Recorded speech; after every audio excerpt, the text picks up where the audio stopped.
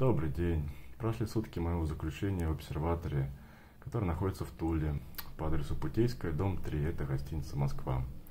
И что э, я могу сказать вкратце? Э, кормят нормально, еду привозят с какого-то ресторана.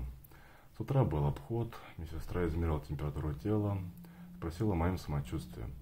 В номере есть туалет, душ, раковина, э, кондиционер, телевизор, ну и, соответственно, кровати. Из средств индивидуальной защиты ничего не предоставлено, а как я ранее говорил, здесь могут содержаться лица ковид-положительные, которые несут угрозу моей жизни и здоровью. А сами же сотрудники данного учреждения э, перемещаются в защитных костюмах. Антисептиков здесь тоже нету, зато вот есть такие одноразовые пакетики с гелем для душа и мылом. Что касается моего самочувствия, оно остается неизменным. У меня нет каких-либо проявлений ОРВИ. А, сегодня пришли результаты моих московских мазков от 7 мая. Они оказались отрицательными. А, сейчас я ожидаю результаты тульских мазков и дальнейшие подробности своего заключения.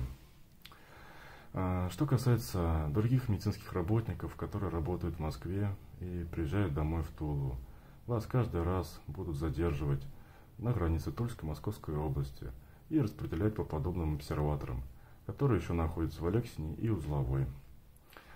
А, так что оставайтесь в Москве, а, либо не называйте свое место работы.